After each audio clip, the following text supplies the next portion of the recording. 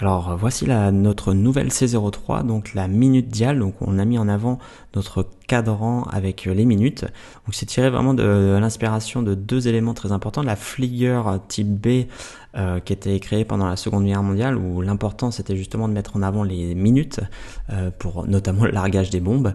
Et euh, le deuxième élément qui nous a fortement inspiré dans cette montre donc plus orientée pilote, c'est aussi le, monde automobile.